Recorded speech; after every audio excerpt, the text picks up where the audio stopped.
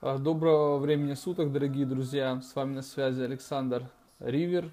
Вот. И я сегодня, знаете, хотел поговорить на такую тему, что а, ну, приободрить людей, которые любят Господа, которые доверяют Ему и которые хотят быть употребляемым Богом. Аллилуйя! И э, я прочел однажды, ну, там, статью одну про одного миссионера.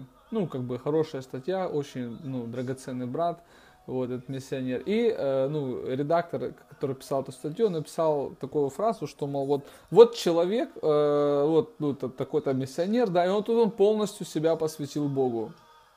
Имея в виду то, что человек вот уехал ну, в Кению, да, то есть жить там, ну, проповедовать, и это потрясающе, но э, это не в противовес, ну, это ни в коем случае не, не против этого брата, а просто к тому, что Получается, что мы, те, кто живем, как бы, да, ну, в городах, ну, в нормальных, мы, э, как бы, не посвящены, ну, то есть, ну, как бы, э, так многие, кстати, думают, что если, мол, ты живешь, вот у тебя там работа обычная, да, там, там чем-то занимаешься, э, уходишь в церковь, то это как бы еще не полное посвящение. А вот если бы ты поехал куда-то, да, вот, ну, и продал бы свою там душу испытанием, то вот это уже стопроцентное посвящение Богу. Но на самом деле, друзья, это, это далеко, далеко от истины. Я хочу вас приободрить, потому что вы должны понимать, что Э, есть, ну, посвящение Господу, оно заключается не в том, что вы, ну, там, допустим, посвящаете себя на 100% там какому-то служению. На самом деле, если вы делаете то, что вам Бог говорит, это и есть э, стопроцентное посвящение Богу.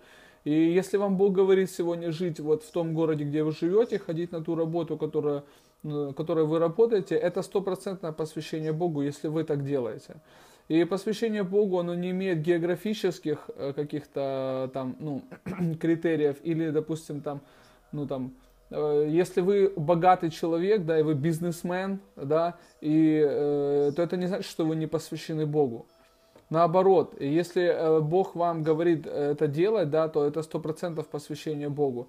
И я хочу сказать, что, ну, Э, бизнесмен вы, да, или вы только недавно там, допустим, у вас вообще там, ну, к примеру, нет финансов, да, э, не зависит от того, где вы находитесь и что вы имеете. Бог не призвал нас жить богатой или бедной жизнью. Бог призвал нас доверять Ему. И если вы, допустим, являетесь там предпринимателем, да, то многие верующие, они считают, что вот, ну этого брата, так, он как минимум в одной сфере, он там защищен, да, ему не надо как бы финансов. Но это на самом деле не так, потому что если твои личные нужды покрыты, да, э, то это не означает, что ты не нуждаешься в Боге, не нуждаешься в финансах, не нуждаешься в чуде. Нет ни одного человека на планете, которому бы Бог э, ну, позволил, ну, как бы, которому Бог бы дал бы право жить, не доверяя Богу, да. И э, я хочу сказать, что ну, допустим, я хочу жить, допустим, ну, как бы, да, ну, к примеру, да, я хочу жить там в Нью-Йорке на Манхэттене, в пентхаусе, да, и, и, и это не значит, что если я там буду жить, да, если Бог меня благословит, то это не значит, что я, фу, ну все, короче, можно ж уже, ну, как минимум, я уже как бы финансово-то защищен, но это неправда, потому что, ну, Бог, Он верный, Он никогда, ну, Он хочет, чтобы вы полностью на 100% зависели от Него. И я знаю некоторых бизнесменов, э, которые ну, следуют за, за Господом. Это ли, реально люди веры. У них такие вызовы, друзья, куда их Бог ведет, что некоторым из нас даже и не снилось такое. Вот. И порой кажется, что там, э, может быть, где-то полегче будет, да. Но я так скажу, в Кении вы находитесь миссионером, миссионером да, или вы живете, живете там в Дубае, там, в Бурж-Халифе, это не важно. Если вы послушны Богу, да, если Бог вас туда привел, то это стопроцентное посвящение Богу. И нету такого, что в воле Божьей одни люди могут быть вот, ну, более исполнительными, да, вот есть воля Божья такая вот более воля, прям вот, ну, вот прям супер, да. А другие люди, которые у них э, можно сказать, социально-бытовые условия полегче, да, то вот это они как бы у них, они еще, мол, не страдали. Это неправда, друзья.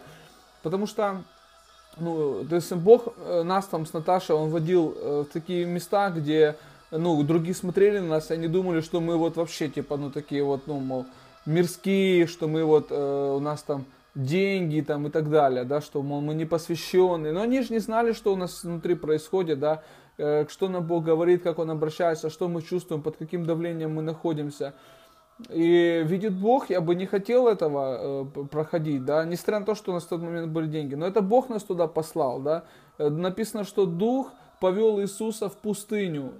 И я вам скажу, что пустыни бывают разные. Это вовсе не значит, что в пустыне у вас там, э, может быть, там не будет денег. Пустыня это вовсе она не обозначает, что вы что-то имеете или не имеете. Это просто говорит о том, что вам нужно доверять Богу. Аминь, друзья. Поэтому я приободряю вас, мой друг, если вы живете и работаете, да, ходите в церковь, э, и вы знаете, что вы на своем месте, вы посвящены Богу на 100%. Аминь.